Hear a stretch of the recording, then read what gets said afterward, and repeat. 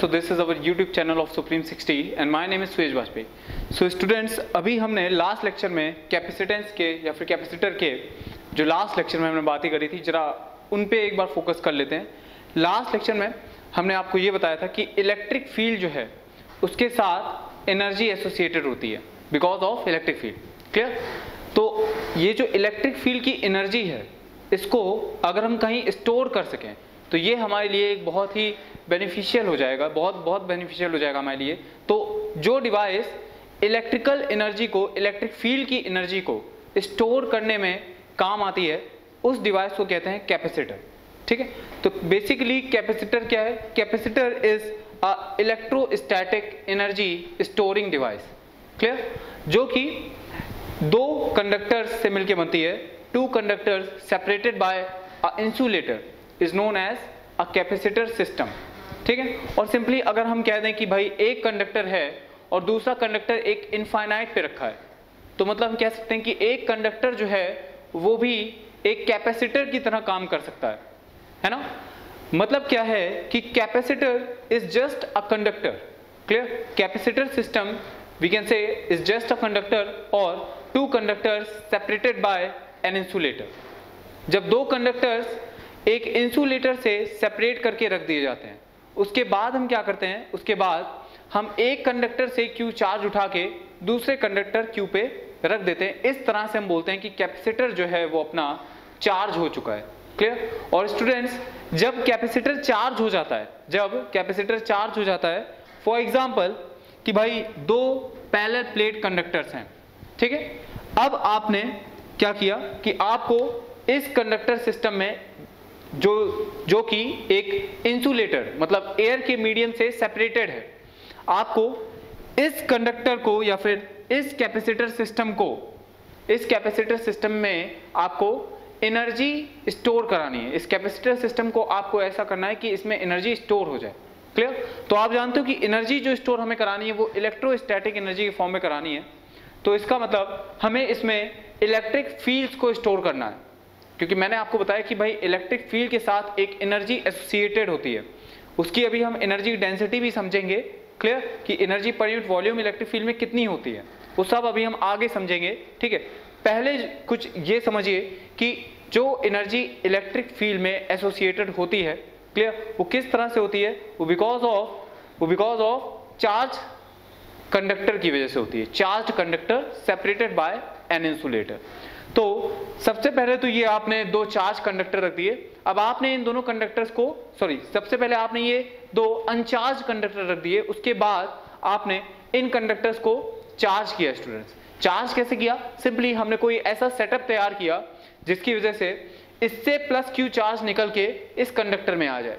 तो अगर ओवरऑल देखेंगे तो इस कंडक्टर में प्लस क्यू चार्ज हो जाएगा और इस कंडक्टर में माइनस क्यू चार्ज हो जाएगा, जैसा कि हमने पिछले लेक्चर में देखा था। ठीक है? उसके बाद हमें पता चला कि भाई क्योंकि ये कंडक्टर है तो ये चार्ज यूनिफॉर्मली सरफेस पे डिस्ट्रीब्यूट हो जाएगा। जिसकी वजह से एक इलेक्ट्रिक फ़ील्ड हमें मिल जाएगी इस रीजन में, जो कि सिर्फ़ इन दो कंडक्टर्स के बीच में होगी।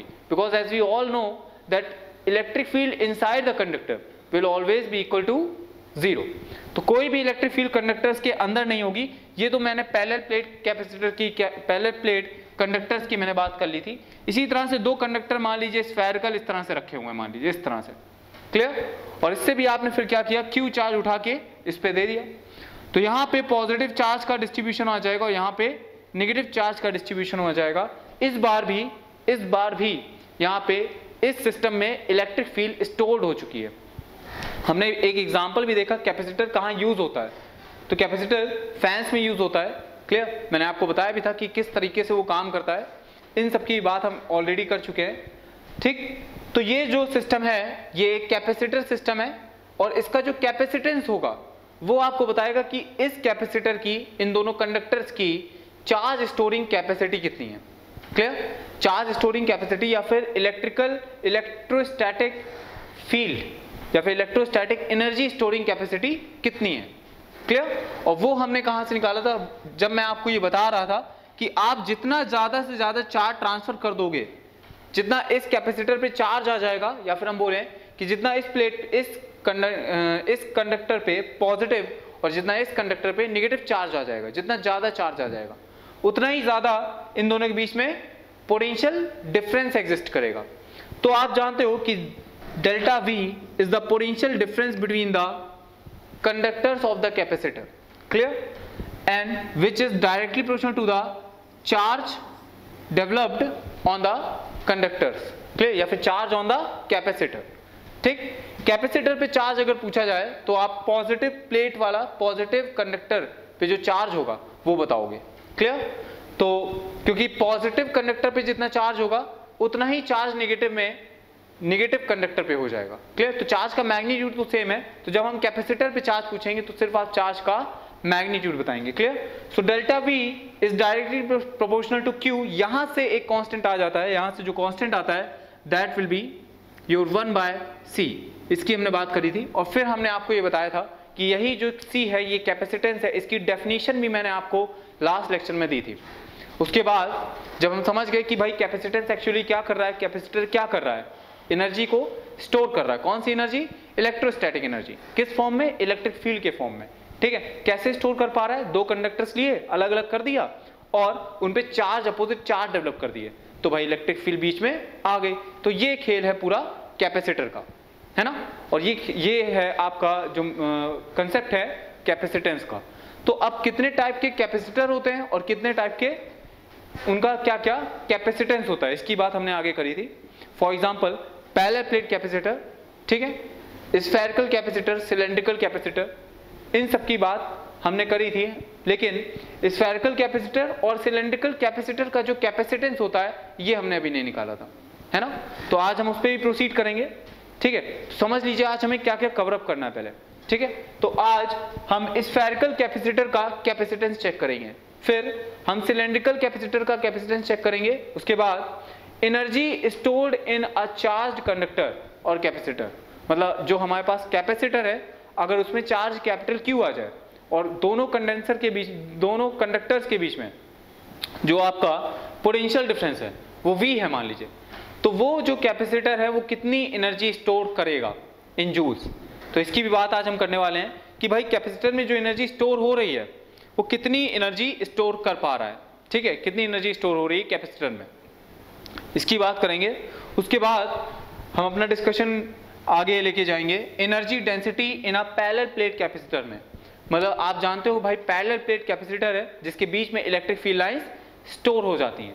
अब वो जो इलेक्ट्रिक फ़ील्ड लाइंस स्टोर हो रही हैं तो उसकी, उसके साथ जो एनर्जी एसोसिएटेड है, उस एनर्जी की एनर्जी डेंसिटी क्या होगी? Means energy per unit volume क्या होगी, अगर हम देखना चाहें। ठीक? तो कुछ नहीं करेंगे सिंपल सा ही काम है कि भाई टोटल एनर्जी निकालेंगे और टोटल जो डिस्टेंस जो बीच में वॉल्यूम है टोटल जो वॉल्यूम है पहले प्लेट कैपेसिटर के बीच में, उससे डिवाइड कर देंगे this will be our energy per unit volume simple एकदम, ठीक? तो ये सब काम आज हमें करना है है ना? तो और इतनी बात हम कर चुके थे क्लियर तो अब मूव करते हैं। तो एक चीज़ एक चीज़ जो हमने आपको बताई थी how to find the capacitance of any type of capacitor clear तो मैंने क्या कहा था कि दो कंडक्टर्स होंगे आपके पास। एक कंडक्टर से आप क्यू चार्ज उठा के दूसरे कंडक्टर पे पुट कर दोगे। तो this will be plus Q and here it will be minus Q और आप पोटेंशियल डिफरेंस मेजर कर लोगे दोनों कंडक्टर्स के बीच में। Let it to be let delta V will be equal to V अब आपको ये जो पोटेंशियल डिफरेंस आपने निकाला है, इसको आपने कैपिटल वी से डिनोट कर दिया। क्लियर अब जो आप कैपेसिटेंस निकालोगे, C is capacitance this will be Q by V itself जो पोटेंशियल डिफरेंस आपने V निकाला था, वो डिनोमिनेटर में आएगा और जो चार्ज आपने ट्रांसफ़र किया था एक कंडक्टर से दूसरे कंडक्टर में, वो न्यूमिनेटर में आ जाएगा। यही बेसिक है। ये बेसिक है आपका। तो ये बेसिक हमने यूज़ किया था कहाँ पे? जब हमने एक पहले प्लेट कैपेसिटर की वजह से उसका कैपेसिटेंस निकाली थी, निकालने की कोशिश की थी लास्ट लेक्चर में। कितना आया था वो? That will be K epsilon naught A upon D K is the dielectric constant of the medium between the parallel plate capacitor ठीक? और जब ये मीडियम एयर था, तब के की वैल्यू सिंपली वन हो गई थी so it will be epsilon naught A upon D इतनी बात हम कर चुके हैं। ठीक? डाइलेक्ट्रिक क्या होता है? डाइलेक्ट्रिक मीडियम क्या है? ठीक? इसकी बात हमने करी थी कि भाई, जब दो चार्ज पार्टिकल्स हैं, उनको एयर में रखा है तो मान लो उनके बीच में फोर्स अगर एफ़ है और वही चार्ज सिस्टम को उठा के अगर हमने किसी मीडियम में रख दिया तो वो फोर्स कितने टाइम्स कम हो जाएगा? एफ़ बाय के हो जाएगा where K is the dielectric constant of that medium तो भाई फोर्स कम हुआ है, इसका मतलब इलेक्ट्रिक फ़ील्ड भी कम हो गई होगी। तो इस कंसेप्ट का हमने यूज़ करके इलेक्ट्रिक फ़ील्ड का यूज़ करके हमने यहाँ से पोटेंशियल डिफरेंस फाइंड आउट किया था। ठीक? पोटेंशियल डिफरेंस जो हमें दोनों कंडक्टर्स के बीच में फाइंड आउट करना है, उसका तरीका सिर्फ़ यही एक नहीं है है ना? उसके और भी तरीके हैं पोटेंशियल डिफरेंस हम हमने मान लिया, पहली प्लेट का पोटेंशियल निकाल दिया और दूसरी प्लेट का पोटेंशियल निकाल दिया और दोनों को हमने सब्ट्रैक्ट कर दिया। ये भी हम कर सकते हैं। क्लियर तो इस तरीके से भी पोटेंशियल डिफरेंस फाइंड आउट किया जा सकता है। So that is all we have already discuss now we are going to our topic that is spherical capacitor तो समझते हैं क्या है ये?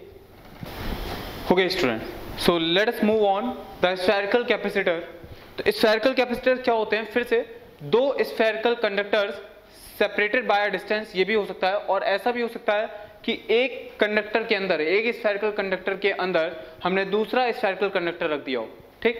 तो ये भी एक स्फेरिकल कैपेसिटर हो सकता है क्लियर तो हमारा जो डिस्कशन होगा, वो सेकेंड वाले पे ही होगा कि भाई, जब एक कंडक्टर के अंदर, एक स्फेरिकल कंडक्टर के अंदर हमने दूसरा स्फेरिकल कंडक्टर रख दिया है, ठीक? तो ये जो सिस्टम है, ये कैपेसिटर सिस्टम ठीक है? Because the capacitor is a system with two conductors separated by an insulator तो कुछ ऐसा ही सिस्टम है यहाँ पे कि भाई एक ये कंडक्टर है और ये दूसरा कंडक्टर है जिसके बीच में एयर का मीडियम अब एयर का मीडियम है तो वो इंसुलेटर है तो this is a capacitor system ठीक? So this system is known as spherical capacitor अच्छा अब हमें इस कैपेसिटर का कैपेसिटेंस निकालना है। तो कैपेसिटेंस निकालने का तरीका वही है स्टूडेंट्स क्या? कि एक कैपेसिटर एक कंडक्टर से चार्ज क्यू निकाल के दूसरे पे रख दो? एक पे प्लस क्यू चार्ज आ जाएगा, एक पे माइनस क्यू चार्ज आ जाएगा। और फिर वही बेसिक कि आपको पोटेंशियल डिफरेंस दोनों कंडक्टर्स के बीच में फाइंड आउट करना है। आप ऐसे भी कर सकते हो कि इलेक्ट्रिक फ़ील्ड बीच में फाइंड कर लो और फिर delta V is to minus E dot D R जो हमने सीखा है ऑलरेडी उससे भी कर सकते हो। और दूसरी चीज़ आप ये यूज़ कर सकते हो कि पहले स्फेयर का कैपेसिटेंस निकाल दो। पहले स्फेयर का पोटेंशियल निकाल दो that will be V one दूसरे स्फेयर का पोटेंशियल निकाल दो दैट इज़ वी टू और दोनों को सब्ट्रैक्ट भी आप कर सकते हो। क्लियर दो मेथड है आपके पास। तो जो भी आपको इजी लगे, उससे एक बार करने की कोशिश करो और इस सिस्टम का आप कैपेसिटेंस फाइंड करो। वीडियो पॉज करके खुद से, ठीक है? उसके बाद उसके बाद आप आगे का डेरिवेशन देखोगे। क्लियर सो स्टार्ट तो चलिए, क्या करेंगे? ये जो अंदर वाला कैपेसिटर है और ये जो बाहर वाला कैपेसिटर है तो बाहर वाले कैपेसिटर से हम क्यू चार्ज उठा के अंदर वाले कैपेसिटर पे रख देंगे। तो जो अंदर वाला कैपेसिटर, अंदर वाला जो कंडक्टर है, उस पर चार्ज क्यू आ जाएगा, ठीक है? और बाहर वाले पे चार्ज माइनस क्यू आ जाएगा। और आपको जैसा कि पता है कि ये जो क्यू चार्ज है, ये इस पे यूनिफॉर्मली डिस्ट्रीब्यूट हो जाएगा इस तरह से। है ना भाई? ये क्यू चार्ज यूनिफॉर्मली इस तरह से डिस्ट्रीब्यूट हो जाएगा। और माइनस क्यू चार्ज भी क्योंकि ये कंडक्टर है, ठीक? तो इसकी इनर सरफेस पे इनर सरफेस पे डिस्ट्रीब्यूट हो जाएगा। वैसे अगर ये इन साइड वाला कंडक्टर ना होता तो जो माइनस चार्ज है वो आउटर सरफेस पे होता। लेकिन क्योंकि अंदर एक नेगेटिव एक पॉजिटिव चार्ज रखा है so the unlike charges will attract each other hence the negative charge will be on the inner surface of the sphere ठीक है? तो जो इनर सरफेस है, उस पर होगा ये नेगेटिव चार्ज और इसी सिस्टम के बीच में अपनी इलेक्ट्रिक फ़ील्ड लाइन्स एग्जिस्ट कर जाएँगी, जिसकी वजह से इस सिस्टम में एनर्जी स्टोर हो जाएगी in the form of electrostatic energy जैसा कि आपको दिख रहा है। बहुत सिंपल है। सिंपल है ना? तो ये एनर्जी आपको दिख रही है कि ये एनर्जी इसमें स्टोर हो चुकी है। अब अब आपको इसका कैपेसिटेंस निकालना है। अभी हमें बस कैपेसिटेंस पे मूव करना है। बाद में हम समझेंगे कि कितनी एनर्जी इसमें स्टोर हुई है। वो सब बाद में बात होगी। पहले कैपेसिटेंस देखते हैं कि भाई कैपेसिटेंस निकालने का वही तरीका है कि अब हम पहले छो, जो छोटा वाला स्फेयर है उसकी रेडियस स्मॉल ए है और जो बड़ा वाला स्फेयर है, उसकी रेडियस स्मॉल बी है। तो अब आपको पोटेंशियल फाइंड आउट करना है। अगर आप ऑब्ज़र्व करो कि इसका पोटेंशियल बाहर वाले का V1 है और अंदर, चलो बाहर वाले का पोटेंशियल आप मान लो दिस विल बी V2 और अंदर वाले का पोटेंशियल आप मान लो V1 क्लियर तो अब आप जरा देखो कि V2 कितना हो जाएगा। V2 का जो पोटेंशियल है, इस तरह के न्यूमेरिकल्स हमने लगाए हैं कि भाई जब स्फेयर के अंदर स्फेयर रखा हो तो पोटेंशियल क्या हो जाता है? किसी पर्टिकुलर स्फेयर का। ठीक? तो वही है कि आपका जो ये जो बाहर वाला स्फेयर है, इसका पोटेंशियल अगर आपको निकालना है तो इसका पोटेंशियल वही होगा जो इस चार्ज की वजह से, इस माइनस क्यू चार्ज की वजह से, जो कि स्फेयर में डिस्ट्रीब्यूटेड है, ठीक है? जो कि एक शेल में डिस्ट्रीब्यूटेड है। तो इस माइनस क्यू की वजह से जो इस स्फेयर का पोटेंशियल होगा प्लस जो इस प्लस क्यू की वजह से इस स्फेयर का पोटेंशियल होगा। ठीक? तो हम क्या करने वाले हैं? हम बस यही लगाने वाले हैं कि भाई शेल की वजह से जो पोटेंशियल होता है वो उसके अंदर जो है, वो वही होता है जो सरफेस पे होता है that is K Q by capital R और बाहर जो है, वो होता है के क्यू बाय स्मॉल आर ठीक? बस इस कंसेप्ट का हमें यूज़ करना है। तो V1 जो है V2 V2 की बात करते हैं पहले। सो V2 is equal to V2 जो अंदर वाले स्फीयर की वजह से पोटेंशियल होगा, वो क्या हो जाएगा? K small Q divided by कौन सी रेडियस ले लें स्टूडेंट्स जी हाँ बिल्कुल। अंदर वाले स्फीयर के लिए हम ये वाला फॉर्मूला यूज़ करेंगे। So this will be small B r की जगह r is the distance from the center of the sphere to the point where we have to find the potential. Clear? So r will be replaced by small b. Clear? अब ये तो आपने potential निकाल दिया बड़े वाले sphere का छोटे वाले स्फीयर की वजह से। ठीक है? जिसमें चार्ज q है। अब आपको बड़े वाले स्फीयर का पोटेंशियल निकालना है लेकिन इस, इस बार इस चार्ज इस माइनस क्यू चार्ज की वजह से पोटेंशियल निकालना है। ठीक है? जो कि खुद उसी स्फीयर पे डिस्ट्रीब्यूटेड है। This will be k times minus q divided by what? Divided by simply b. ठीक है? अब ये वाला फॉर्मूला हमने लगाया है इनसाइड वाला। ठीक है? सो so, अगर आप इसको ऐड करोगे तो आपको पता चलेगा v2 two is equal to nothing but zero clear v2 almost zero हो गया है। अब v1 फाइंड कर लो इसी मेथड से। v1 विल बी बहुत ही सिंपल है खुद से करो। v1 will be v1 means potential of inner surface potential of inner surface तो इनर सरफेस का पोटेंशियल खुद इनर सरफेस की वजह से इनर स्फेयर की वजह से प्लस आउटर स्फेयर की वजह से। तो इनर सरफेस का इनर स्फेयर का जो पोटेंशियल है, खुद उसकी वजह से वो चेक करते हैं पहले। This will be K Q divided by what divided by small A clear ये वाला फॉर्मूला यूज़ किया इनसाइड वाला। ठीक? प्लस प्लस बाहर वाले स्फेयर की वजह से। K minus Q divided by what divided by simply small B ये वाला फॉर्मूला यूज़ किया फिर से अंदर वाला। ठीक इनसाइड बड़े वाले स्फेयर के लिए हमें ये ऐसा लग रहा है हमें इनसाइड पोटेंशियल फाइंड आउट करना है। ठीक है? अंदर वाले स्फेयर फाइंड करना है। मतलब इसका ये है कि बड़े वाले स्फेयर की वजह से उसके अंदर पोटेंशियल फाइंड आउट करना था। तो अंदर पोटेंशियल फाइंड आउट करना है तो K Q by capital R where capital R is the radius of sphere itself and small R is the distance between the distance between the center of the sphere and the distance and the point where we have to find the electric field or electric potential ठीक है तो यहाँ से ये आपका V1 आ चुका है V1 solve कर लीजिए this will be K Q common ले लिया this will be 1 by A minus 1 by B so here it will be K Q into B minus A divided by AB clear है students ये आपका potential आ गया और potential difference भी यही हो जाएगा। पोटेंशियल डिफरेंस अगर आप निकालोगे तो this will be v equal to V one minus V two this will be equal to simply v because v1 because v2 equal to zero clear so we can write that this is the potential difference v. अब आपको capacitance find out करना है तो capacitance के लिए मैंने आपको simply बताया है what c is equal to जो चार्ज आपने ट्रांसफ़र किया this charge divided by potential difference between the conductors तो बस यही करना है, अब आपको q divided by what q divided by K Q into B minus A divide by A B so जो कैपेसिटेंस आपका आ जाएगा इस सिस्टम का, बहुत इंपॉर्टेंट फॉर्मूला आने वाला है। This will be this will be A B divided by B minus A और इंटू कर देंगे हम। इंटू किससे कर देंगे? This will be K one by four epsilon naught. तो four pi naught A B divided by b minus a. This will be the capacitance of this spherical capacitor. ठीक है? तो यही मेथड था, पूरा मेथड वही है जो हम देख चुके हैं ऑलरेडी और ये हमारे पास हमको मिल गया है कैपेसिटेंस ऑफ़ स्फेरिकल कैपेसिटर ठीक? ये फॉर्मूला बहुत इंपॉर्टेंट है, इसको कॉपी में, पहले तो डेरिवेशन नोट करें अपनी कॉपी में, जैसा कि आप अभी तक कर रहे हैं। ठीक है? उसके बाद डेरिवेशन सीबीएसई के लिए बहुत इंपॉर्टेंट है, ठीक? और कॉम्पिटेटिव एग्ज़ाम्स के लिए भी बहुत इंपॉर्टेंट है। कहीं कहीं कहीं कहीं ऐसा कैपेसिटर दे सकते हो आपको जहाँ जो देखा ही ना हो। तो मेथड यही रहेगा मेथड बहुत इंपॉर्टेंट है, ठीक है? तो four pi epsilon naught four pi epsilon naught A B divided by B minus A is the net capacitance of this spherical capacitor ठीक? अब समझते हैं जरा, इसी इसी से समझते हैं कि भाई आइसोलेटेड कैपेसिटर क्या होता है। तो स्टूडेंट्स आइसोलेटेड कैपेसिटर का बस सिंपल सा ये मीनिंग है कि जो बाहर वाला कंडक्टर है, जिसकी रेडियस बी है ठीक? वो इतना बड़ा हो जाए कि इसकी अप्रोच से ही दूर हो जाए, है ना? मतलब कि वो, उसकी जो रेडियस है स्मॉल बी की जो स्मॉल बी जो है, वो टेंड टू इन्फिनिटी हो जाए। इसका मतलब ये जो बाहर वाला कंडक्टर ये इतना बड़ा हो चुका है कि छोटा वाला कंडक्टर जो है, वो ऐसा लग रहा है आइसोलेटेड रखा हुआ है है ना? जबकि बड़ा वाला कंडक्टर भी है। तो कोई भी अगर कंडक्टर है आपके पास, समझ लीजिए, कोई भी कंडक्टर है, वो एज इट इज़ एक कैपेसिटर की तरह, एक आइसोलेटेड कैपेसिटर की तरह ट्रीट किया जा सकता है उसको। क्लियर कोई भी कंडक्टर है, उसको एक आइसोलेटेड कैपेसिटर की तरीके ट्रीट किया जा सकता है। हम मान लेंगे कि इसका जो दूसरा कंडक्टर है, जिसके अंदर ये रखा हुआ है, वो कंडक्टर आपका कहाँ पे है?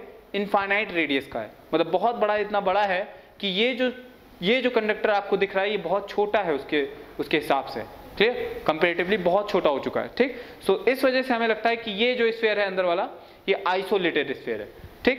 तो पहले तो आप ये नोट कर लो फिर हम समझते हैं कि ये आइसोलेटेड स्फेयर का कैपेसिटेंस कितना होता है ठीक है? आई होप कि तुम सबने नोट कर लिया होगा। अब हम समझते हैं कि आइसोलेटेड कैपेसिटर का कैपेसिटेंस क्या होता है। आइसोलेटेड कैपेसिटर होता क्या है? तो अगर ये हम बाहर वाला कंडक्टर हटा दें ठीक है? अगर हम ये बाहर वाला कंडक्टर हटा दें तो स्टूडेंट्स हमें क्या लगेगा? कि भाई, इस बार इस बार, ये जो सिस्टम है, ये एक आइसोलेटेड कंडक्टर है। और यही होता है एक आइसोलेटेड कैपेसिटर ठीक? आइसोलेटेड कैपेसिटर का मतलब ये है कि जो दूसरा स्फेयर है, उसकी रेडियस इनफाइनाइट हो चुकी है।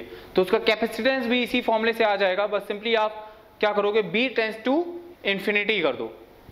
अगर आप बी टेंस टू इंफिनिटी कर दोगे hence it will be simply zero तो यहाँ से के क्यू बाय ए आ जाएगा। K Q by A potential आ जाएगा और जब आप कैपेसिटेंस निकालोगे इसका सी इज़ इक्वल टू फिर से वही Q divided by potential difference Q divide by K q by a. This will be K Q by A तो a तो ऊपर चला जाएगा एंड q से q कैंसिल आउट k की वैल्यू आप 1 by four pi epsilon naught put करोगे. So this will be 4 pi epsilon naught a.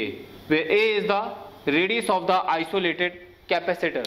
Where a is the radius of the isolated capacitor. A जो है ये cap, जो आपका capacitor है isolated spherical capacitor जो है ये उसकी रेडियस हो जाएगी स्मॉल है ठीक?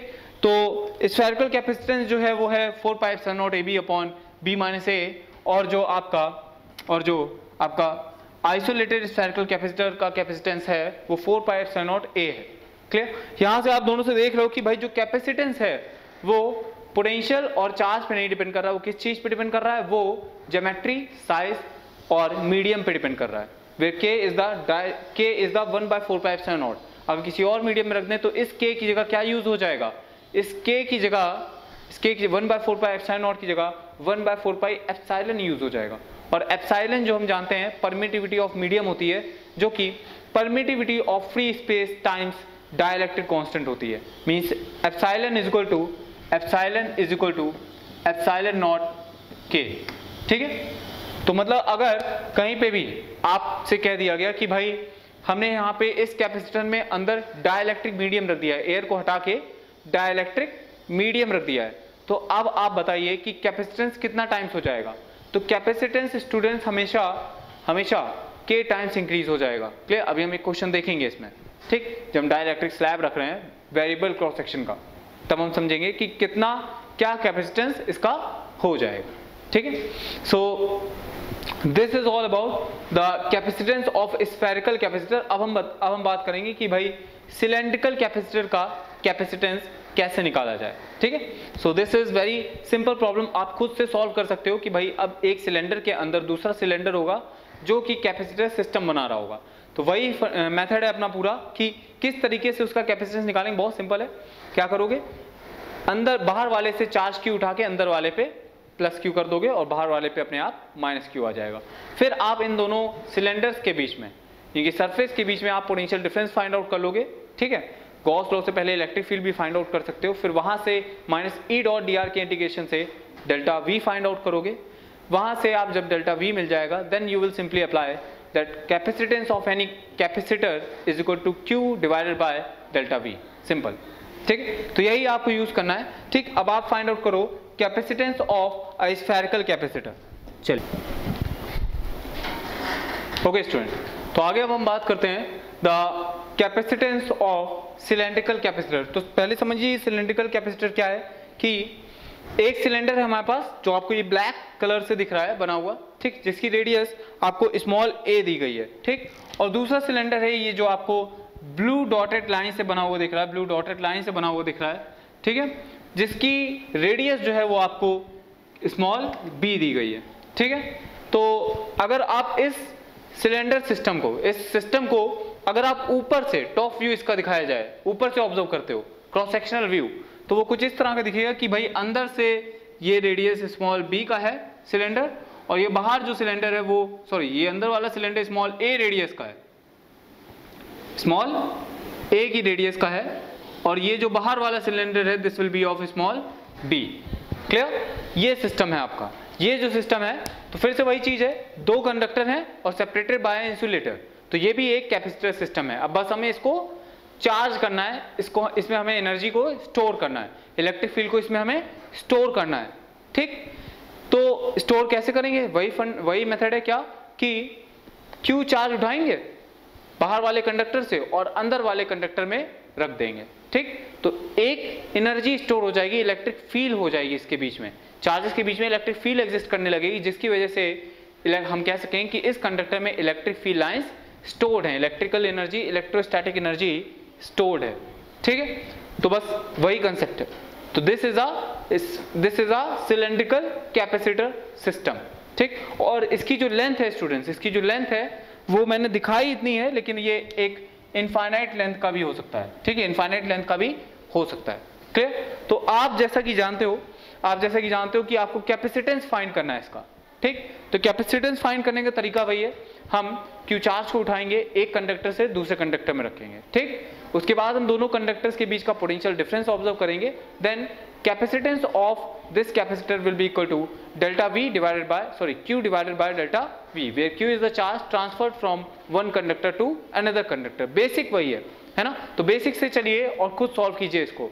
I hope that you will you can solve it by your ठीक it will be very easy and it can be solve ठीक? तो लेट स्टार्ट अगर आप एक गॉशियन सरफेस ले लो स्टूडेंट्स अगर आप यहाँ पे इस तरह से इस सिलेंडर के अकॉर्डिंग इस सिलेंडर की लेंथ का एक गॉशियन सरफेस ले लो, जो यहाँ पे मैं इस तरह से ग्रीन कलर से दिखा रहा हूँ, ठीक है? तो ये जो गॉशियन सरफेस आप लोगे, इस गॉशियन सरफेस से अगर आप फ्लक्स ऑब्ज़र्व करने की कोशिश करो, ठीक है? So this flux will be suppose the electric field will be outside because here is the charge here is the charge plus Q अंदर वाले सिलेंडर पे जो चार्ज आएगा this will be plus Q और बाहर वाले सिलेंडर पे charge मैंने माइनस क्यू ले लिया। मतलब मैंने क्या किया है, एक क्यू चार्ज उठाया जो कि इस कंडक्टर से इस कंडक्टर में ट्रांसफ़र कर दिया है। तो अब ये चार्ज जो है, ये यूनिफॉर्मली सरफेस पे इस तरह से डिस्ट्रीब्यूट हो जाएगा। क्लियर या फिर जिस तरीके से भी डिस्ट्रीब्यूट होना होगा यूनिफॉर्मली डिस्ट्रीब्यूट होगा ये चार्ज क्लियर और इस सरफेस पे माइनस चार्ज डिस्ट्रीब्यूट हो जाएगा माइनस चार्ज क्लियर अगर मैं इस सिलेंडर को इस तरीके से दिखाता हूँ कि भाई ये जो, ये सिलेंडर है अंदर वाला, ठीक है? और ये जो है, ये आपका बाहर वाला सिलेंडर है, ठीक है? तो मैं क्या कर रहा हूँ? मैं यहाँ पे आपको चार डिस्ट्रीब्यूशन दिखा रहा हूँ। वो कुछ इस तरीके का है। पॉजिटिव चार्ज अंदर और इक्वल अमाउंट का निगेटिव चार्ज जो है, वो आपका बाहर आ जाएगा। यूनिफॉर्मली डिस्ट्रीब्यूटेड चार्ज सिस्टम और आपने जो क्वेश्चन सरफेस ली है वो कुछ इस तरह से ले लिए। ठीक? अब आप ये बताइए कि भाई, जब आप गौशियन सरफेस लोगे, मान लो ये सिलेंडर है, ये सिलेंडर है, ठीक? और इससे इलेक्ट्रिक फ़ील्ड लाइंस इस तरह से बाहर आ रही हैं रेडिली आउटवर्ड ठीक? और आपने गौशियन सरफेस इस तरह से ले रखा है तो आप खुद बताओ कि जो एरिया वेक्टर है गौशियन सरफेस का, और जो इलेक्ट्रिक फ़ील्ड वेक्टर का जो एंगल होगा, अगर इस पॉइंट पे हम देख रहे हैं तो electric field vector radially outward और area vector is also radially outward hence the angle between electric field vector and the area vector is always going to be zero तो जब ज़ीरो हो जाएगा तो हम गॉस लॉ लगाते हैं। Gauss law from our Gauss law यहाँ मैं लिख देता हूँ। Gauss law so surface integral of E dot D S will be equal to Q enclose Q enclose upon epsilon naught ठीक है? तो ई डॉट एस को जब आप डॉट प्रोडक्ट लोगे so this will be simply E into D S into cos zero and cos zero will be one so E D S हो चुका है ये, ठीक है? वेक्टर वाला हटा दिया मैंने। अब आप समझ लो कि भाई इलेक्ट्रिक फ़ील्ड जो है, ये पूरी गॉसियन सरफेस में कांस्टेंट होगी, क्योंकि electric field because of a cylindrical wire और cylinder dependent on the distance from the axis of the cylinder distance from the axis और वो दोनों, वो गॉसियन सरफेस पे हर जगह कांस्टेंट है। क्लियर भाई, ये जो हमारी सिलेंड्रिकल गॉसियन सरफेस है ग्रीन से जो दिख रही है आपको, ठीक? इस तरह से ये जो हमने गॉसियन सरफेस ली है, ये ये गॉसियन सरफेस इसकी ऊपर वाली बेस और नीचे वाले बेस से तो कोई flux electric field pass out नहीं कर रही तो उसका फ्लक्स ज़ीरो होगा। अब जो भी electric field line pass out कर रही है वो यहाँ से करेगी और वो यहाँ से करेगी। और वो पूरी सरफेस में कांस्टेंट होगी यूनिफॉर्म होगी। तो वो इलेक्ट्रिक फ़ील्ड सरफेस इंटीग्रल से बाहर आ जाएगी। So this will be E surface integral of D S equal to Q enclose upon epsilon naught और क्यू इंक्लोज क्या है स्टूडेंट्स अगर लैमडा मान है सिलेंडर पे लीनियर चार्ज डेंसिटी है। Linear charge density will be lambda so lambda times capital L lambda times L और L जो है, ये सिलेंडर की हमने लेंथ मान ली। इनफाइनाइट लेंथ का भी हो सकता है, लेकिन हमने यहाँ पे फाइनाइट लेंथ का सिलेंडर लिया। Clear so this will be E into D S mean surface area जहाँ से इलेक्ट्रिक फ़ील्ड लाइन्स क्रॉस कर रही हूँ। तो इलेक्ट्रिक फ़ील्ड लाइन्स आपकी इस एरिया को क्रॉस कर रही हैं, इस एरिया को मीन कर्व सरफेस एरिया पूछा गया है। And this will be two pi R L याद रखेंगे, इसमें बेस का एरिया गलती से भी मत ले लेना, क्योंकि बेस से कोई भी इलेक्ट्रिक फ़ील्ड पास आउट नहीं कर रही है तो उससे फ्लक्स जो है वो ज़ीरो है। आपको सिर्फ़ जो फ्लक्स मिलेगा वो कर्व सरफेस की वजह से ही मिलेगा। So this will be E into two pi R L this will be equal to lambda into L so यहाँ से जो इलेक्ट्रिक फ़ील्ड आपने निकाली है this will be lambda divided by two pi R और यहाँ पे एप्सिलॉन नॉट से भी डिवाइड था. So this will be lambda upon two pi epsilon naught epsilon naught R ये आपकी इलेक्ट्रिक फ़ील्ड आ चुकी है. ये अपना एक रिज़ल्ट है, जो हम पहले भी निकाल चुके हैं, लेकिन मैंने यहाँ पे एक बार फिर से गॉस लॉ को यूज़ करके ये रिज़ल्ट निकाल दिया। ठीक है? तो इलेक्ट्रिक फ़ील्ड अब आपकी आ चुकी है। अब आपको क्या करना है स्टूडेंट्स अब आपको सिर्फ़ पोटेंशियल डिफरेंस फाइंड आउट करना है। ठीक? तो ये एक सिलेंडर है। ठीक? ये एक सिलेंडर है, जिसकी रेडियस स्मॉल ए दी है। और ये दूसरा सिलेंडर है, जिसकी रेडियस स्मॉल जी हाँ बी दी है। क्लियर और इसमें आपने चार्ज रखा है पॉजिटिव क्लियर और इसमें आपने चार्ज रखा है निगेटिव ये जो बाहर वाला सिलेंडर है, ये जो ब्लैक से दिख रहा है। इस पर आपने चार्ज रखा है नेगेटिव तो इसके बीच में इलेक्ट्रिक फ़ील्ड लाइंस स्टोर्ड हैं। इलेक्ट्रिक फ़ील्ड लाइंस इसके बीच में स्टोर्ड हैं। और वो इलेक्ट्रिक फ़ील्ड लाइंस जो है, उनकी डायरेक्शन भी आपको पता है एक्चुअली वो इस तरह से है पॉजिटिव टू नेगेटिव हो जाएँगी। क्यों भाई? सही है? तो इस तरह से ये इलेक्ट्रिक फ़ील्ड लाइंस स्टोर्ड हैं। तो अब आप खुद से बता सकते हो, खुद से बताओ कि कौन सा सिलेंडर हाई पोटेंशियल पे होगा। इनसाइड वाला सिलेंडर और आउटसाइड वाला cylinder as you all know that the electric field lines are going radially outward इसका मतलब क्या है कि इलेक्ट्रिक फ़ील्ड लाइंस उस डायरेक्शन में मूव करती हैं जहाँ पोटेंशियल डिक्रीज हो रहा हो। इसका मतलब रेडिली आउटवर्ड डायरेक्शन में पोटेंशियल डिक्रीज होता चला जाएगा। इसका मतलब स्मॉल ए वाला जो सिलेंडर है जो छोटी रेडियस वाला सिलेंडर है वो हाई पोटेंशियल पे होगा और बड़ी रेडियस वाला सिलेंडर लो पोटेंशियल पे होगा। सो so, अब आपको क्या करना है? पोटेंशियल डिफरेंस फाइंड आउट करना है। So it will be simply D V का इंटीग्रेशन हो जाएगा। डीवी का इंटीग्रेशन हो जाएगा, ठीक है? और यहाँ पे यहाँ पे E dot minus E dot D R का इंटीग्रेशन हो जाएगा। जब आप इंटीग्रेट करोगे तो आपसे लिमिट पूछी जाएगी, ठीक है? तो लिमिट, जब आप जब आप ए की लिमिट रखोगे रेडियस की लिमिट रखोगे आप यहाँ पे तो रेडियस जब ए रखोगे आप स्मॉल ए तो आपको वी ए मिलेगा क्लियर और जब रेडियस आप बी रखोगे तो आपको वी बी मिल जाएगा। जैसा कि आप जानते हैं V B minus V A जो है, वो निगेटिव होगा तो आप पहले आपको पोटेंशियल पॉजिटिव चाहिए तो आप पहले बी रख दो और फिर ए रख दीजिए। बी टू ए क्लियर तो आपको जो इस बार पोटेंशियल डिफरेंस मिलेगा, वो V A minus V B होगा और हमें निकालना भी V B V A minus V B है। चलिए कंफ्यूजन दूर करते हैं। आप अभी V A minus V B नहीं V B minus V A he find कर लो। उसके बाद हम खुद V A minus V B find out कर लेंगे। क्लियर सो आप ये देखो ए पे वी ए और बी पे VB. So this will be VB minus, this will be your VB minus VB VA clear? Is equal to electric field की value रख दोगे that is lambda upon two pi epsilon naught R सब कुछ constant है R one by R variable होगा तो one by R का जो डी आर के टर्म में इंटीग्रेशन होगा that is L N R तो इंटीग्रेशन जो हो जाएगा this is lambda upon two pi epsilon naught L N R और लिमिट लग जाएगी भाई ए से बी क्लियर है? एक माइनस साइन भी बाहर था। तो यहाँ से स्टूडेंट जब हम फाइंड कर रहे हैं, इसको मैं यहाँ से कंटिन्यू करता हूँ। ठीक है? अब समझिए, जो पोटेंशियल डिफरेंस आएगा this will be V B minus V A is equal to is equal to lambda upon two pi epsilon naught lambda upon two pi epsilon naught L N B by A और एक minus sign भी था। क्योंकि हमें साफ़ साफ़ बता रहा है कि बी जो है वो लो पोटेंशियल पे होगा और ए हाई पोटेंशियल पे होगा, क्योंकि B is greater than A है तो ये क्वान्टिटी पॉजिटिव है और ये सब तो पॉजिटिव था ही तो ओवरऑल निगेटिव हो गई। इसका मतलब V B is smaller than V A so what we have to find is V A minus V B this will be equal to student lambda upon two pi epsilon naught L N B by A clear और अब आप समझ रहे हो, अब आप जैसे ही समझ रहे हो कैपेसिटेंस क्या हो जाएगा? सो capacitance of cylindrical capacitor will be equal to Q by V and hence Q divided by V is lambda. लैमडा को आप क्या लिखोगे? Q by L Q by L तो two pi epsilon naught L into L N B by A तो यहाँ से आपका रिज़ल्ट आ जाएगा and result will be capacitance जो है इसका, जो कैपेसिटेंस है, वो क्या आ गया है? वो सिंपली स्टूडेंट्स वो आपका अलग पेन से लिख देते हैं result C is equal to this will be two pi epsilon naught l divided by l n b by a याद रखेंगे बी ऊपर है ए नीचे है clear so this will be our capacitance of cylindrical capacitor ठीक? बहुत लोग ने ये निकाल भी दिया होगा, अपने आप ही कर दिया होगा, ठीक?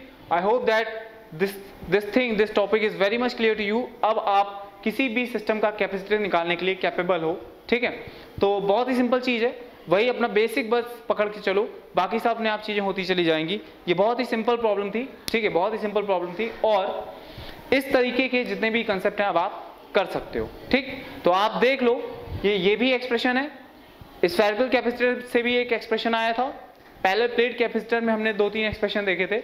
तो सारे देख लो और खुद बताओ कि कैपेसिटर जो है, कैपेसिटेंस जो है, किसी भी कैपेसिटर का, वो किस पे डिपेंड कर रहा है? वो सिर्फ़ वो सिर्फ़ शेप साइज़ और थर्ड थिंग मीडियम पे डिपेंड कर रहा है। Medium of insulator clear so that is all about the cylindrical capacitor अब हम मूव करते हैं toward energy associated with the capacitor ठीक है? Energy associated with the capacitor okay students so there is a question based on the capacitor to find the capacitance of a system चलिए देखते हैं इसमें क्या है कि इस क्वेश्चन को पहले करने के पहले कुछ चीज़ें मैं ये बताना चाहूँगा कि मान लीजिए, ये अपना एक पैरेलल प्लेट कैपेसिटर है, ठीक है?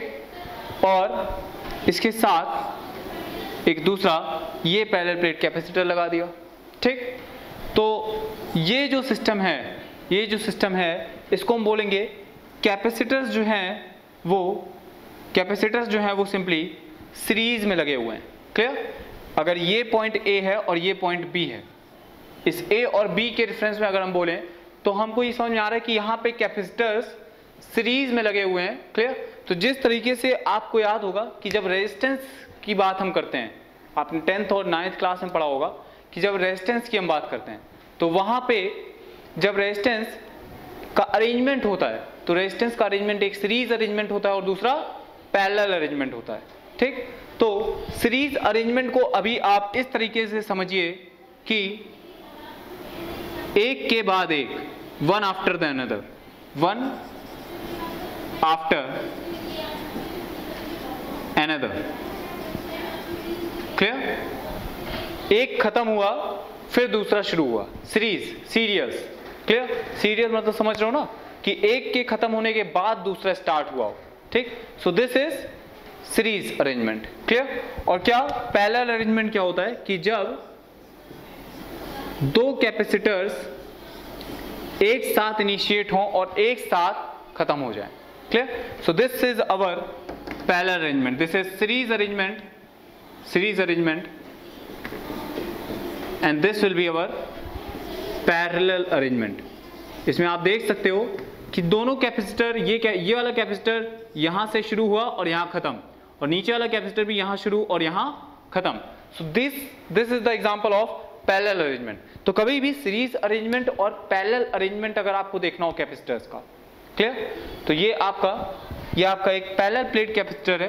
कैपेसिटर को हम जिस तरीके से रेजिस्टेंस को हम इस तरह से शो करते हैं। है ना स्टूडेंट ये रजिस्टर है हमारा। उसी तरीके से हम कैपेसिटर को इस तरह से शो करेंगे। दो डिवाइसेस हैं।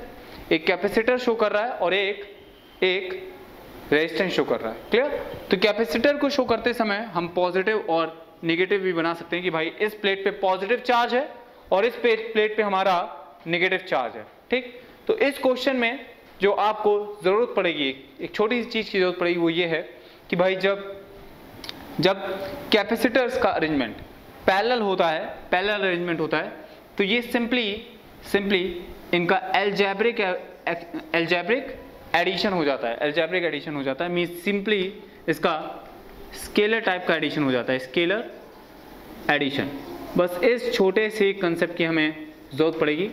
अभी हम आगे पैरेलल और सीरीज़ अरेंजमेंट अच्छे से देखेंगे भी। जैसे हम, जैसे हमने टेंथ क्लास में बात करी थी कि अरेंजमेंट ऑफ़ रेजिस्टर्स उसी तरीके से हम बात करेंगे arrangement of capacitor clear capacitor series में कैपेसिटर पैरेलल में कब कैसे अरेंज कर, करे जाते हैं, उस पर अच्छे अच्छे क्वेश्चन हम देखेंगे, लेकिन आज के सेक्शन में नहीं, ठीक है? आज के सेक्शन में ये न्यूमेरिकल पूरा करते हैं, ठीक? सो लेट स्टार्ट समझते हैं क्या न्यूमेरिकल है? Before solving it so the numerical is a capacitor has rectangular plates of length a clear तो कैपेसिटर जो है उनके पास दो कैपेसिटर हैं, ठीक है? दो कंडक्टर्स हैं, ठीक? दो प्लेट्स हैं वीकेंड से तो जो दो प्लेट्स हैं, उनकी जो लेंथ है, वो स्मॉल ए है और जो उसकी विथ है, वो स्मॉल बी है.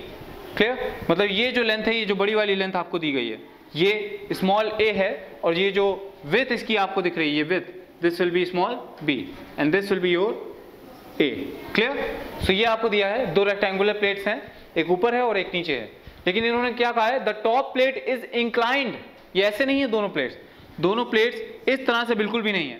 ठीक? ये दोनों प्लेट्स किस तरह से? कि जो भाई टॉप प्लेट है ये टॉप प्लेट ये ऐसे नहीं बल्कि ऐसे है इस तरह से इंक्लाइंड है किसी जर्नल एंगल थीटा पे। समझ लो किसी जर्नल एंगल थीटा पे इस तरीके से इंक्लाइंड है अपनी टॉप प्लेट ठीक है? तो आगे पढ़ते हैं। At a small angle as shown तो वो स्मॉल एंगल कितना है? वो थीटा हो जाएगा। So so, the plate separation varies from d is equal to y naught. Means जो सेपरेशन है, वो यहाँ पे मिनिमम है और वो सेपरेशन जो है, ये d is equal to y naught के बराबर है। यहाँ सेपरेशन y नॉट है और यहाँ पे जो सेपरेशन है स्टूडेंट्स वो सेपरेशन टू वाई नॉट है। मतलब सिंपली आपको इसलिए ये बताया गया है ताकि आप ये एंगल थीटा फाइंड आउट कर सको। थीटा कैसे फाइंड करोगे? थीटा के लिए आप क्या करोगे कि भाई आपको ये जो डिस्टेंस दी गई, ये जो नीचे वाली प्लेट है, इसकी लेंथ तो स्मॉल ए ही हो जाएगी okay so if this will be small a then this theta can be find by this triangle आप इस ट्रायंगल को देखिए, ये जो ऊपर, ये लेंथ वाई नॉट है और ये पूरी लेंथ टू वाई नॉट है। इसका मतलब ये जो ये लेंथ हो जाएगी this will also be y naught here and this will be a so tan theta is equal to simply tan theta will be equal to what tan theta will be equal to y naught upon a simple ठीक? तो यहाँ से आपने theta भी निकाल लिया। अभी देखते हैं इसकी ज़रूरत हमें पड़ती है कि नहीं, लेकिन देख लेंगे आगे। तो आगे क्या कहा गया है? कि भाई the plate separation varies from d is to y naught to at the left to d is to two y naught at the right clear way y naught is much less than a y naught जो है वो ए से बहुत छोटा है B से बहुत छोटा है। Calculate the capacitance of the system अब आपको इस सिस्टम का कैपेसिटेंस फाइंड आउट करना है। तो स्टूडेंट्स इस क्वेश्चन में हम फिर से वैसे नहीं चलेंगे कि भाई हमने ऊपर एक चार्ज क्यू रख दिया और नीचे वाली प्लेट में माइनस क्यू रख दिया, फिर हमने इलेक्ट्रिक फ़ील्ड फाइंड आउट करी। वैसे भी कर सकते हो आप। वो भी सिंपल तरीका वैसे भी कर सकते हो। बट इस बार हम, हमको जो पता है, हम उसको यूज़ करने की कोशिश करेंगे। हमें क्या पता है कि जो पहले प्लेट कैपेसिटर हैं, जो पहले प्लेट कैपेसिटर हैं, उसकी वजह से हमें इलेक्ट्रिक फ़ील्ड पता है। कितनी होती है वो? वो इलेक्ट्रिक फ़ील्ड होती है स्टूडेंट्स वो जो इलेक्ट्रिक फ़ील्ड होती है because of parallel plate capacitor वो होती है के epsilon naught a upon d और जब एयर मीडियम हो, जब एयर मीडियम होता है तो जो कैपेसिटेंस होता है this capacitance will be epsilon naught a upon d मतलब जो कैपेसिटेंस है पैरेलल प्लेट कैपेसिटर का, वो simply epsilon naught a upon d हो जाएगा. Simply epsilon naught a upon d हो जाएगा क्लियर क्योंकि एयर मीडियम है। तो बस, अब आप ये समझिए कि भाई, ये जो आपका सिस्टम है, ये इसी तरह के इनफाइनाइट कैपेसिटर से मिलकर बना है। क्यों हम ऐसा कर रहे हैं? हम इसको एक कैपेसिटर क्यों नहीं मान रहे हैं? भाई, अगर हम एक कैपेसिटर वाला फॉर्मूला यूज़ करेंगे तो आप खुद बताइए, हम इसमें स्मॉल डी क्या रखेंगे? D is the distance between the plates और वो डिस्टेंस चेंज हो रही है। क्लियर तो हमको एक यूनिक डिस्टेंस नहीं है तो हम क्या करेंगे? हम इसको इनफाइनाइट कैपेसिटर में तोड़ देंगे और हम एक एलिमेंट सिलेक्ट करेंगे। उस एलिमेंट की वजह से हम कैपेसिटेंस निकालेंगे, फिर हम इंटीग्रेशन का यूज़ करेंगे, इस तरह के जितने कैपेसिटेंस आएँगे, उन सबको हम ऐड कर देंगे। Clear so from here we will get the net capacitance of this system ठीक? तो आपको मेथड समझ में आ गया होगा, एक बार वीडियो पॉज करके खुद से इसे सॉल्व कीजिएगा, उसके बाद वापस आइएगा कंसेप्ट में। ठीक है? तो क्या करने वाले हैं? समझिए कि भाई सबसे पहले हम x डिस्टेंस पे, एक x की डिस्टेंस पे एक छोटा सा dx का एलिमेंट लेंगे, ठीक है? लेफ़्ट से x की डिस्टेंस पे हमने एक छोटा सा dx का एक एलिमेंट ले लिया। ये जो एलिमेंट हमने लिया, ये एक छोटा सा dx का एलिमेंट ले लिया, ठीक है? अब आप ये बताइए, इस dx के लिए आप ये लेंथ निकाल सकते हो, ठीक? If this will be y naught ये जो ये लेंथ है, ये वाई नॉट ही रहेगी, और ये ऊपर वाली जो लेंथ है ये भी आप निकाल सकते हो, ठीक है? ये dx जो है, ये बहुत छोटा है, बहुत छोटा सा एलिमेंट होगा क्लियर ये बहुत ही छोटा सा एलिमेंट होगा कि ये डिस्टेंस भी x लगेगी और ये डिस्टेंस भी पूरी x ही लगेगी हमको, है ना? अब आप समझिए कि भाई, ये जो डिस्टेंस हो जाएगी, ये कितनी हो जाएगी? This will be from this triangle tan theta is equal to what tan theta is equal to this distance this perpendicular upon this base x clear तो ये जो लेंथ है आपकी, ये लेंथ इसको अगर मैं y बोल रहा हूँ simply then this y will be y by x will be equal to tan theta and tan theta will be equal to y naught upon a. So here y is equal to from here y will be equal to students x y naught divided by a. ये अपना y आ चुका है clear अगर आप ये total distance measure करने की कोशिश करोगे hence this will be y naught plus y so this distance this distance d will be equal to y naught plus y naught plus this तो y नॉट कॉमन ले लेंगे one plus x by a it is ये important है। तो इस छोटा सा जो आपको कैपेसिटेंस यहाँ से जो छोटा सा कैपेसिटेंस मिलेगा, इस छोटी सी प्लेट का, इस छोटे से प्लेट सिस्टम का this will be your d c this will be your d c clear d c means d c means छोटे से एलिमेंट का कैपेसिटेंस अब आपको ये डीसी समझना है, ये डीसी क्या हो जाएगा? This dc will be epsilon naught a upon d epsilon naught कोई दिक्कत नहीं है। A area of this capacitor तो इसकी थिकनेस जो है वो dx है और इसकी जो विथ होगी स्टूडेंट वो स्मॉल b के ही बराबर होगी। ये है आपका छोटा सा, छोटी सी प्लेट जो है, वो इस तरह से आपको दिख रही होगी। इसकी विथ dx है और इसकी जो लेंथ हो चुकी है, वो स्मॉल b हो चुकी है। Clear so epsilon naught a a हो जाएगा b टाइम्स dx अगर कहीं पे भी कंफ्यूजन है तो एकदम आराम से सोचिए, सब समझ में आ जाएगा। क्लियर तो epsilon naught a upon d अब डी की जगह हम ये रख देंगे students this will be y naught into one plus x upon a तो ये अपना डी सी आ गया मीन्स छोटे सा जो हमने एलिमेंट लिया है, उस एलिमेंट की वजह से कैपेसिटेंस अब आ चुका है क्लियर अब आपको फिर से इस तरह के जितने छोटे छोटे एलिमेंट्स हैं, उन सबको ऐड करना है, या फिर आप ऐड कर सकते हो, या फिर आप क्या कर दो? इंटीग्रेट कर दो, है ना? So we we will go through integration और आप लिमिट यहाँ पे लगाओगे, जब आप x की लिमिट क्या रखोगे? Zero then the capacitance will be zero जब आप x की लिमिट क्या रख दोगे? Small a then the capacitance will be c. Clear तो लिमिट में कोई समस्या नहीं है। अब आपको सिंपल इंटीग्रेशन करना है। Simple integration okay so this will be जो कांस्टेंट है वो बाहर आ जाएँगे। एप्सिलॉन नॉट बाहर, b बाहर और नीचे से y नॉट बाहर आ जाएगा। A का एलसीएम ले लेंगे तो a ऊपर आ जाएगा। This will be a and बस। ठीक है? So integration of a plus x will be खुद से कीजिए, खुद से कीजिए this will be l n a plus x और जब लिमिट रखोगे आप तो ज़ीरो रखोगे तो सिंपली ए बचेगा, ठीक है? ए रखोगे तो टू ए बचेगा, ठीक? तो this will be this will be l n two this will be your ln2 you can solve it by yourself. You can solve it by yourself. Or, okay? You can solve it by yourself. Simple बस मैंने limit रखी है और कुछ नहीं किया है, ठीक है?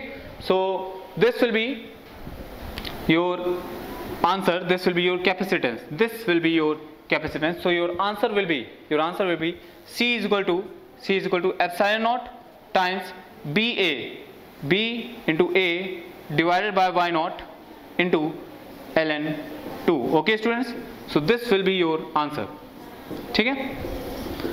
तो बहुत ही सिंपल प्रॉब्लम था. बस इंटीग्रेशन करना है. बहुत ही सिंपल हो चुका है ये प्रॉब्लम ठीक?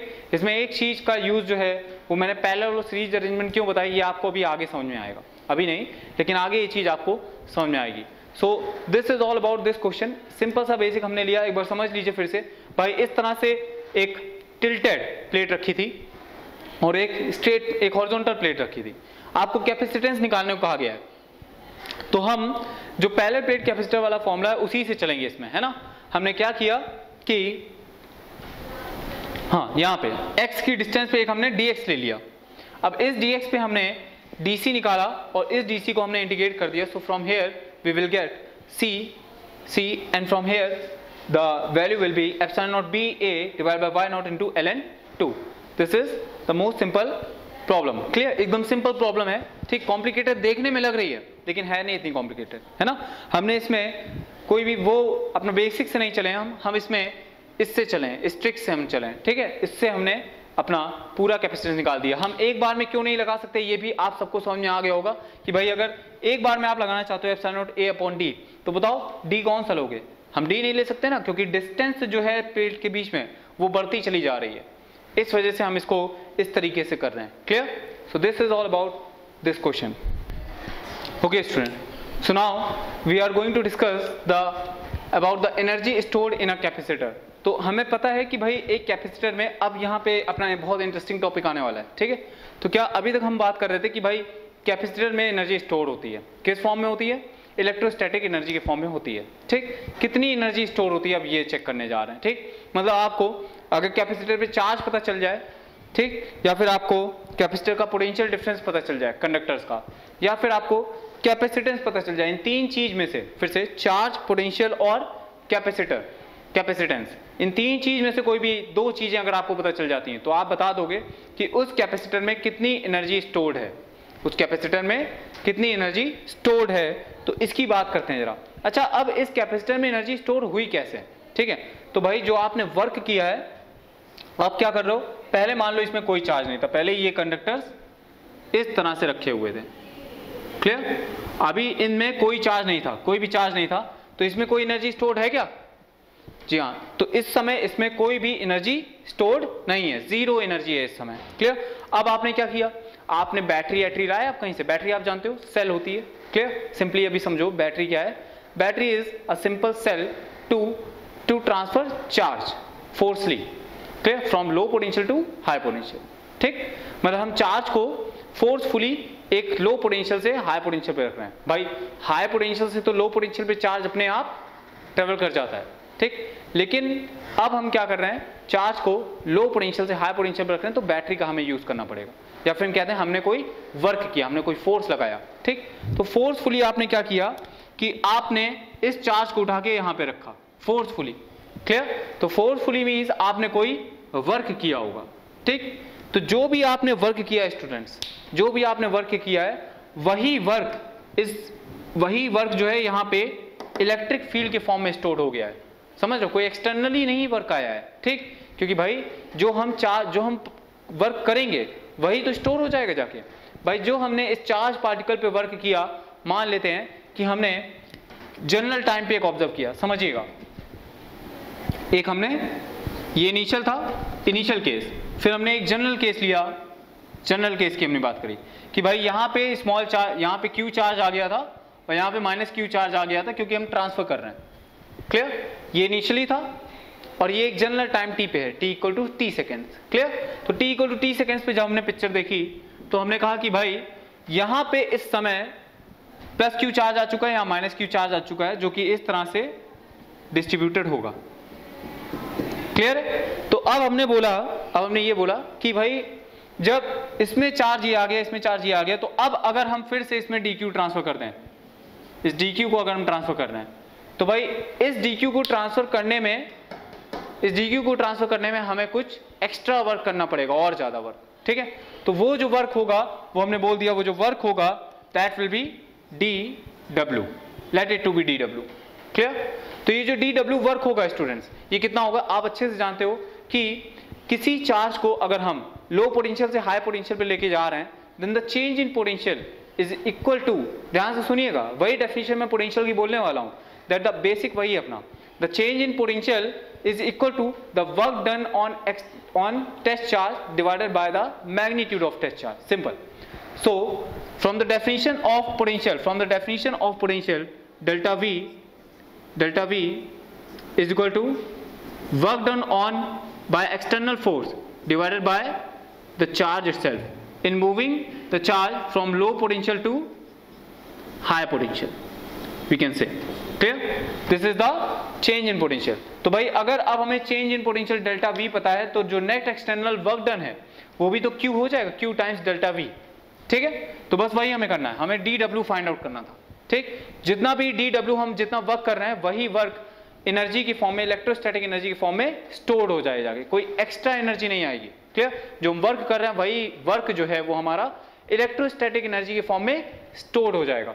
So this D W will be equal to Q times Q times delta V लेकिन अगर हम इस केस की स्टूडेंट्स बात करें स्टूडेंट्स अगर हम इस केस की बात करते हैं तो एट अ पर्टिकुलर टाइम पे जो पोटेंशियल डिफरेंस होगा इन दोनों के बीच में that will be V V is the potential difference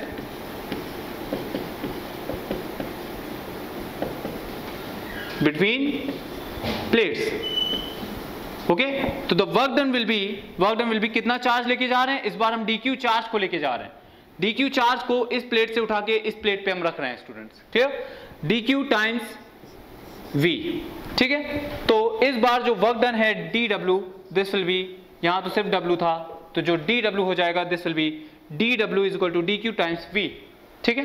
तो अब आप बताइए, ये v जो है स्टूडेंट्स ये v आप कैपेसिटर के फॉर्मूले से q equal to C V से भी फाइंड आउट कर सकते हो। v is equal to Q by C इस सिस्टम का जो कैपेसिटेंस है, वो तो टाइम पे डिपेंड ही नहीं करता है। आप अच्छे से जानते हो, इस सिस्टम का जो कैपेसिटेंस है, वो हमेशा सी ही रहेगा। क्लियर हमेशा इस सिस्टम का कैपेसिटेंस सी रहेगा, वो टाइम पे नहीं डिपेंड करता। So from here we get v will be equal to q by c. This will be q by c into dq. तो ये आपका एक्सटर्नल वर्क आ गया और यही जो है आपकी इंटरनल एनर्जी में स्टोर हो जाएगा। तो टोटल आपने कितना वर्क किया? जब प्लेट्स अनचार्ज थी और जब प्लेट्स पे चार्ज प्लस क्यू और माइनस क्यू आ चुका है। मीन्स कैपेसिटर में चार्ज प्लस क्यू आ गया। ठीक है? तो कितना आपने वर्क किया? वही वर्क जो है वो इन प्लेट्स में इन प्लेट्स के बीच में इलेक्ट्रिकल एनर्जी इलेक्ट्रोस्टैटिक एनर्जी की फॉर्म में स्टोर हो जाएगा जाके। So this work will be equal to this work will be equal to integration कर देंगे हम this will be equal to Q square by two C Q square by two C आप Q equal to C भी यहाँ रखोगे so you will get you will get half C V square फिर आप इसी में, फिर आप इसी में v equal to Q by C भी रख सकते हो so you will get half q times u q times v आप c की जगह क्या रख दो c की जगह q बाय v रख दो so these are the three फॉर्मुले these are the three formulae by which you can find the energy stored in a capacitor energy stored in a capacitor ठीक है याद है कितनी एनर्जी स्टोर होगी जितना हमने वर्क किया है ठीक तो कितना वर्क किया हमने हमने वर्क कितना किया Q times delta V by the definition of potential difference and potential difference between the plates ठीक है? तो W is equal to Q times delta V. Here, the charge moved is dq. ठीक है? एक हमने general time T पे observe किया system को. जनरल टाइम टी पे ऑब्ज़र्व किया. At a general time T और उस टाइम टी पे हमने देखा इस पे प्लस क्यू चार्ज इस पे माइनस क्यू चार्ज है. क्लियर तो जो चार्ज ट्रांसफ़र हुआ है, वो डी क्यू चार्ज ट्रांसफ़र हुआ है. तो उसमें जो वर्क होगा that will be D W clear so this D W work is equal to D Q जितना चार्ज ट्रांसफ़र हुआ और जो पोटेंशियल डिफरेंस हुआ. जिस पोटेंशियल डिफरेंस में उसको ट्रांसफ़र किया गया। So this will be V ठीक है? So D Q dot into V is the D W clear और जब हम इंटीग्रेट कर देंगे, v को हम रख देंगे q by C then the integration will be q square by two तो Q square by two C is go to half C V square is go to half Q V is the energy stored in a capacitor ठीक है? तो यही वो energy है जो कि एक कैपेसिटर में स्टोर्ड है क्लियर आप अच्छे से समझ रहे हो कि जो एनर्जी स्टोर्ड है, वो आपको कोई भी दो क्वांटिटी पता हो कैपेसिटेंस चार्ज या फिर उसका पोटेंशियल डिफरेंस तो आप फाइंड आउट कर सकते हो कि कितनी एनर्जी स्टोर्ड है एक कैपेसिटर में। ओके स्टूडेंट्स तो यहाँ तक तो हमने बात कर ली कि भाई कितनी एनर्जी स्टोर है एक कैपेसिटर में। ठीक? अब हम बात करेंगे, ठीक है, अब हम आगे नेक्स्ट लेक्चर में बात करेंगे कि भाई इस एनर्जी की एनर्जी डेंसिटी क्या होगी? Means energy per unit volume क्या होगी? इसकी हम बात करेंगे। तो स्टूडेंट्स तो सबसे पहले जो हमने कैपेसिटेंस की बात करी थी, उसमें हमको पता चला था कि capacitance is a device capacitor is a device to store electrostatic energy so किस तरह से उसने एनर्जी को स्टोर किया? अब आपको क्लियर पैटर्न बन चुका होगा कि भाई चार्ज को एक से दूसरे में ट्रांसफ़र करके जो हम वर्क कर रहे हैं, ये उसी वर्क को इलेक्ट्रिक एनर्जी में कन्वर्ट कर लेता है बस, और कुछ नहीं करता। तो जिस तरह से अगर हम मोटर की बात करें तो मोटर क्या करती है? मोटर इलेक्ट्रिकल एनर्जी को मैकेनिकल एनर्जी में कन्वर्ट कर देती है।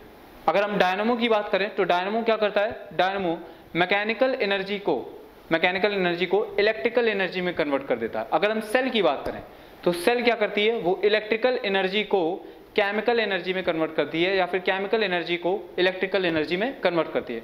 उसी तरीके से स्टूडेंट्स, यहाँ ये कैपेसिटर क्या काम कर रहा है? जो हम इसमें मैकेनिकल एनर्जी कर रहे हैं, जो हम इसको, जो हम इसमें एनर्जी दे रहे हैं, वो इलेक्ट्रोस्टैटिक एनर्जी के फॉर्म में अपनी सेव हो जा रही जाके। ठीक है?